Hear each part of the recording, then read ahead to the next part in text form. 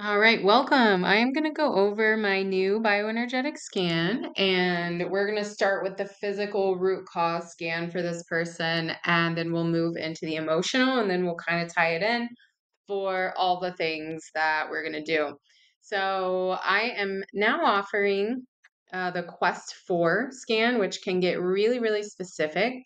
As you can tell, I haven't made this super pretty yet, so I need to kind of um, um, edit my layout before I start to do a lot of these. But I'm really excited to be offering the Quest 4 because you can get a little bit more detailed and you can go deeper into certain symptoms. The emotional scan, I'm really excited about. My uh, colleague that I've paired with is the one running the scans, and she has created this emotional scan on her own and we're always going to be trying to refine it and make it better. So, as we kind of go through things, it will pretty much always be uh, refined and, and improved upon as we keep going. So, your feedback is welcome.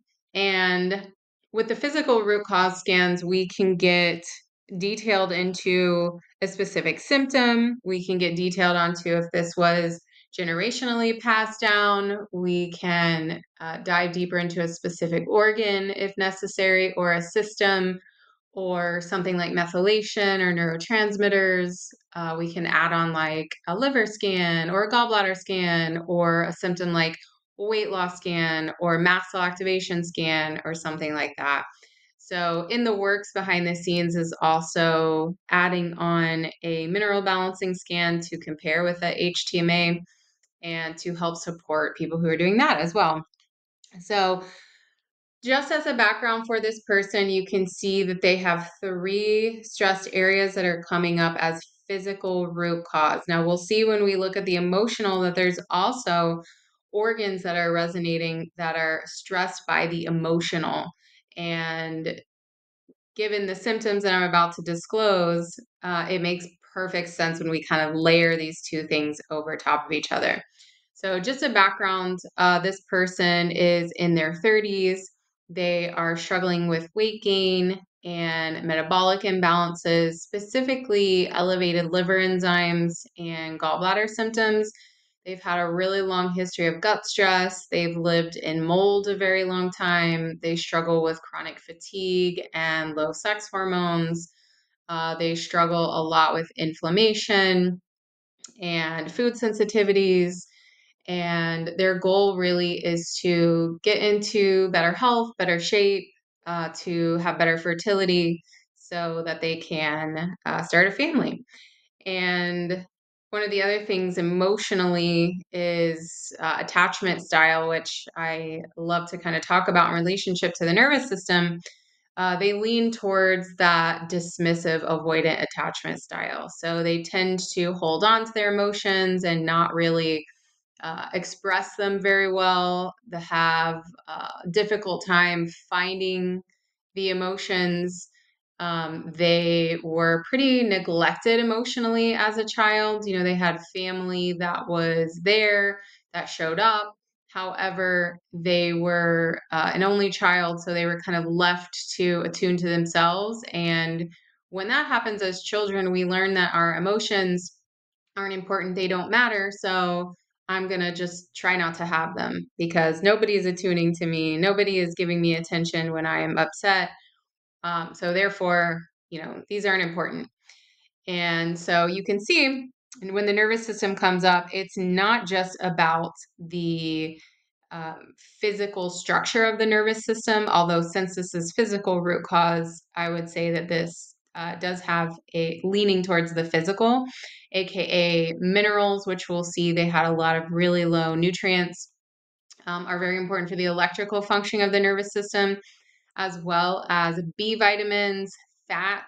Uh, brain needs a lot of fat, and certain types of nutrients are essential for the automatic functions of the body, like things like acetylcholine. Uh, this person does have a history of drug and alcohol abuse all throughout their 20s. So, you know, we'll see some some of the things that are coming up with this scan too. And then hypothalamus Uh, this is part of the limbic system, which we'll see also resonated with the um, emotional scan, with that emotional filter. And the hypothalamus is what kicks off the HPA axis. So that's the stress response fight, flight, freeze. So you can see how these two things are very uh, important connected. Now, the other thing that the hypothalamus is um, related to that is important here for this person is leptin. So, leptin, ghrelin, they tend to have a really hard time feeling satiety. So, they can just eat and eat and eat. Again, they're struggling with some metabolic symptoms uh, like elevated insulin. I would also guess leptin resistance just based on the inability to feel full. Um, leptin is also a light hormone, so it is directly impacted by our circadian rhythms. And as we get into this test, we're also going to see that they really struggle with uh, blue light after dark, staying up too late, and we'll see how that's a generational pattern that's kind of been passed down. And then, of course, how this can all affect the downstream effects of the blood sugar the liver being stressed, the metabolic stress, the inflammation, the gut stress, and how it's all connected. And then the third area that's resonating arteries and veins. So this is, we'll see a big theme of uh, limited or support needed in drainage pathways. So the blood, the lymphatic system um, coming up a lot in this scan. And this is how we move waste out. So part of that swelling, part of the uh, weight gain can also be this fluid in the body that's not being drained out appropriately. Um, also, with the arteries and veins, uh, this can also uh, be related to low energy, pH imbalances, cold hands and feet, which they report not having, but they do have circulation symptoms on their hands and feet, um, like some peeling going on. And emotionally, uh, this has to do with receiving uh, our ability to receive and feel nourished and joy and love. So receiving that uh, they they might have a block with, which makes sense with some of the emotional stuff coming up as well. So then we're going to look into some of the physical imbalances that are resonating. Now with the Quest 4, we can actually tell what is in the physical that we need support with right now. We can tell if something is weakened, if something is chronic, if something is psychological or energetic, and then also if something has been passed down generational. So I love that added layer of insight. The two areas that seem to need support right now that are uh, showing up as in the physical uh, acute, which are affecting a lot of things downstream are thyroid hormone. So the thyroid needs some immediate support as well as melatonin. So melatonin is that hormone that helps us to fall asleep.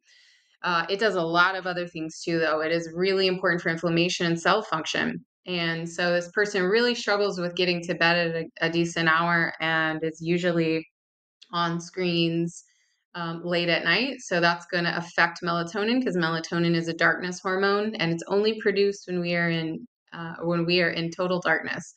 So, really prioritizing trying to work on those circadian rhythms, getting sunlight when they first wake up, as well as maybe wearing some of those blue blockers or putting some programs on their screen so that they're red tinted so that they're not affecting them as much. Because these two things, we have uh, cell, we have receptor sites for thyroid hormone in, in almost all of our cells. And melatonin is billions and billions of years old. It is older than glutathione. So it is a very, very important molecule. I just actually watched a conference all about melatonin and the amazing things that it does. So, downstream effects of the circadian disruption is also going to lead to that weight gain and metabolic stress and a lot of the symptoms they're having emotionally, mentally. Then looking at what is weak, low, deficient, degenerative, and chronic. So a lot is coming up in this category. So chronic histamine uh, activation. So this is going to be mast cell degranulation, food sensitivities, a lot of gut stress. They don't have the classic hives or uh, itchiness or hay fever or anything like that, but they do have headaches and uh, IBS type symptoms, which can be related to histamine too. Uh, we have a, a, thoracic marker coming up. So you can see this one is related to the gut uh, gut symptoms.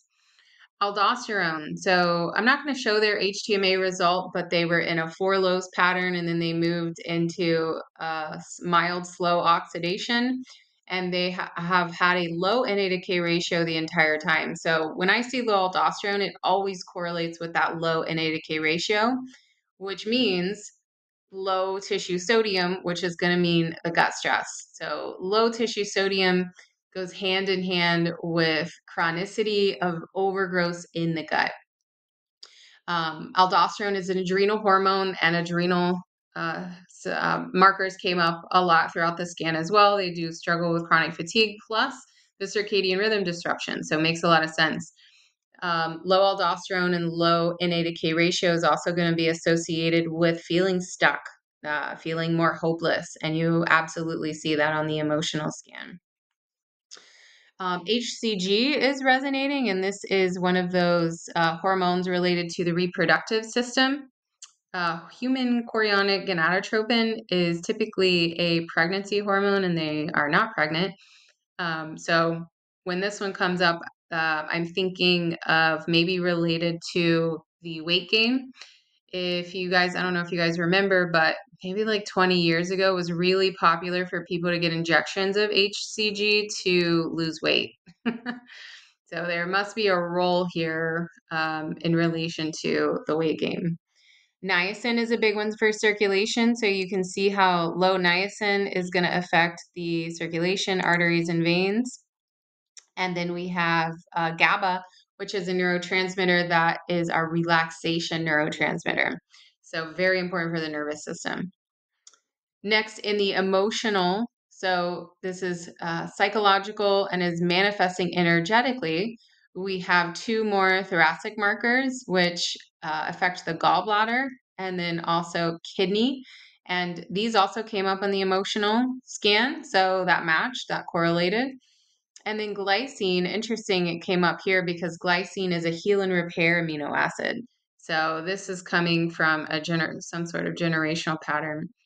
Uh, then we also have a category for energetic, long-standing generational patterns and deficiencies that are resonating. We have another adrenal hormone here. Uh, we have lysine and glycine uh, both of which are amino acids. Lysine is a calcium synergist. And if you remember, they were in the four lows pattern with uh, their first HTMA, and they had very low calcium. Uh, lysine also helps with uh, immune function and prevents viral replication. Um, and then iodine. So we show here that the thyroid is in physical acute, uh, needs attention right away potentially related to a long-standing generational iodine deficiency. And then looking at the um, hormones and endocrine things that are coming up for support. So we have maca. Maca is an herb that does have uh, a great ability to help with balancing hormones. And then also melatonin came in again, this time on a generational level. So, you know, asking this person about their family patterns, you know, they said they used to go to midnight movies and Walmart at 2 a.m. So their family is a stay up all night kind of a family, even as a child. And then for cognitive and circulatory support, ginkgo resonated. Um, this one also can uh, came up on a generational um, line as well. And then I mentioned a lot of lymph products came up or a lot of lymph support needed. So there's a variety of products in here that can, you know, give information about where do we need that support. So we don't have to take all of the remedies that are resonated, but we're going to need to do some dry brushing or some hot and cold therapies um, or vibration plate, trampoline, uh, self massage, you know, any of those things can also be supportive as well. Um, and part of the uh, lymphatic drainage is also coming from a generational side. And then we also have uh, three things coming up that might be blocking some of these drainage pathways. So one of them is the, th- the Thio group, which is related to sulfur containing compounds. uh, sulfur metabolism is really important for the liver to be able to move out toxicity. And we also have an energetic imprint of uh, zeo, um, xenoestrogen compounds. So this also uh, xenobiotics and endocrine disruptors. Uh, then lastly, we do see that dairy is coming up as a, a big sensitivity. Then for emotional and generational patterns, we have placenta caps. So this one's really interesting. Um, needing support, nourishment, and for emotional growth. They had a lot of deficiencies that were resonating pretty much almost every nutrient. so uh, this kind of makes sense with like really needing that deep nourishment. And we'll see on the emotional scan that the gener- a lot of the generational traumas are coming from the mother side. So this might also be resonating because of that. And then um, genome signatures. This um, is a subconscious genetic imprint, so like epigenetic changes. And then malignant cells came up specifically two generations. So this is not like I have cancer currently. This is this is a there's a cancer on that side two gener or there's a cancer two generations ago and interesting their grandfather had just passed away and and he had had several cancers so that made a perfect sense sensitivities besides the dairy we also see fabrics and materials and they have a big affinity for certain types of fabrics so that made sense uh, Ultimate Phenolix. This tincture is incredible. It's from Physica and it helps to desensitize not just environmental sensitivities, but also internal sensitivities. So, everything from histamine to dopamine to GABA to estrogen, testosterone. Uh, this homeopathic is really great for really sensitive people that have a lot going on. And then we see some interesting things coming up um, as well. We see steroids which is also on an emotional generational level. I mentioned this person does have a history of drug and alcohol abuse. Um, their dad also did take anabolic steroids as a bodybuilder. So I was wondering if that came up because of that. Um, and then aquamarina, this is a a homeopathic that it can be related to living next to the sea or the ocean. Interesting enough. Um, we looked into the the emotional, uh, physical patterns of it, and it didn't really resonate. So I'm not sure why this one really was coming up, but they did grow up next to the ocean. So maybe uh, that is why. And then lastly, the circulatory meridian support. Um, so triple warmer. Uh, this represents endocrine blood sugar and needing specific heart health focus. And then also the circul- circulation meridian resonates, which uh, makes sense with arteries and veins coming up. Now let's get into the emotional scan. So here's where it gets really fun. So with the emotional scan, we are going to see more organs coming up.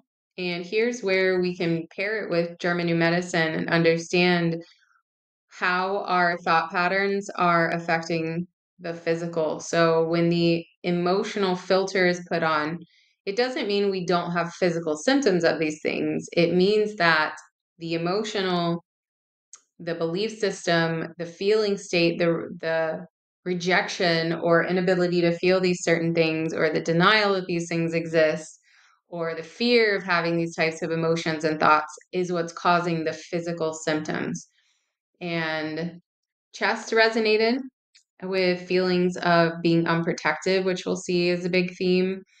Uh, large, or sorry, liver, anger, frustration, being judgmental. Large intestine reflects indigestible anger through that German New Medicine lens and fear of abandonment. Uh, kidneys associated with anxiety, abandonment, and survival fears. So, through German New Medicine lens, we know that the kidney collecting tubules are related to air conflicts, abandonment, isolation, refugee existence. And the, this person's family was refugees at one point. They fled their country and came to the United States. And those, when that kidney collecting tubules conflict is active, um, then we're also going to see weight gain because it causes us to hold on to weight and water. And you can also see that kind of resonating with, we just looked at the the blood and the fluid of the body and circulation. Um, and then large intestine, indigestible anger, plus being judgmental with the liver and the gallbladder, resentment, stubbornness. This person um, is a Taurus, which they are said to be traditionally very stubborn, emotionally suppressed, which I mentioned that dismissive, avoidant um, attachment style. Burning sensations, reflux, they do have uh, symptoms of acid reflux at times. And then here we also see the nervous system again. So you can see how these things are all connected. Feeling unprotected, I mentioned they were pretty emotionally neglected. Um, abandonment, feeling isolated, they were an only child. And and also growing up, they had a lot of anger issues, which have magically gone away. They don't have anger issues anymore. They don't get super angry because it's indigestible. They're holding on to it. They have resentment for people in their family. It's not being digested, and therefore it's showing up in our physical symptoms. Now, looking at the emotions, we kind of went through these already. Another uh, part of the body that's resonating in the emotional filter is parathyroid imbalance, avoidance, overwhelm resp- from responsibilities. So, um, avoidant behavior, you know, dismissive avoidant means I don't want to deal with this. I don't want to be responsible. I don't, I want to stay in denial. I don't want to address this. And then a lot of self doubt. Uh, one of the belief statements that resonated is um, or, or one of the things that resonated is the will to be abused and everything is against me. So that's just going to fuel that uh, avoidance of being responsible, of radical responsibility. Some of the negative belief systems that resonated is I hate everything, which was generational five generations back. That pain is ine- inevitable. It's one of the subconscious beliefs everything is against me is showing up in the physical and the emotional. Success will make me a bad person. This was showing up physically present as a physical block to their life right now. The belief that my best is good enough was also a block. So, feeling like even if I do my best, everything is against me, pain is inevitable, and I hate everything. but there were some positive beliefs that that are showing up too like i trust god's plan for my growth and i celebrate love the feelings that are creating issues is feeling fearing lack of opportunities so um, not wanting to take responsibility not wanting to address my problems head on. And i self-sabotage with things like drugs and alcohol like staying in my resentment by not talking to certain people in my family. And um, that fear of failure or feel of fear of success um, you should say because it's fearing lack of opportunities the generational patterns that came down was that will to be abused um, there's uh, certain patterns coming down the paternal line certain patterns coming down the maternal line. And something that happened in childhood has affected the epigenetics of this person. And the origin of these beliefs that are generational is suggestion. So these are passed down, like because the people who were your caregivers suggested that this is the way the world is. The source of a lot of this dis- disharmony is from a male um, and then also from an entity. So interesting enough, this person's uh, some of these pe- person's relatives used to practice Santeria and um, some of that like um, like voodoo culture and things like that. And we can also address this in theta healing. So, all of the generational patterns and fallens, waywards, entities, this can be addressed using theta healing and energy work uh, which is something that I do in my practice as well. And then the energy meridians, no surprise, we've got liver, gallbladder, large intestine, kidney, and then also the crown chakra, which is related to the hypothalamus. The words of affirmation to help to release these generational traumas are going to be kind resonated. So this person is very kind, um, which is physically present. Modest is resonating. So the need to be a little bit more modest. I mentioned they were a Taurus, so they love the luxury parts of life. um, I celebrate love is something they can really look for more in their life and recognizing that my best is good enough. We do have some emotional healing thoughts of I release all anger and resentment. I choose peace. I am safe, secure, and supported in every moment. I trust God's plan for growth and evolution. And I am inherently worthy and deserving of love and respect. Now, the therapies that resonated so, emotional release techniques like journaling, EFT, somatic therapies, which is um, all what I do in my private practice, generational healing. So, this might mean theta healing, but this might mean talking to your family, having hard conversations, sharing your truth, even if you know that that person or people are going to be upset with you. German New Medicine. So, German New Medicine isn't a modality, but it's an understanding of how these things are showing up physically. So, we can use German New Medicine to go deeper into the somatic work, to ask questions specifically related to the conflict and answer them in journaling or meditation. And then again, theta healing can address generational blocks, beliefs, traumas, um, as well as you know EFT, Reiki, and things like that. Walnut is the Bach flower that resonated, and the homeopathic is from Physica, its ultimate field. So we can imprint what's needed to balance. We can imprint these words of affirmations, these healing thoughts into one of these formulas. Um, and then again, kind of reiterating the negative beliefs versus the positive beliefs.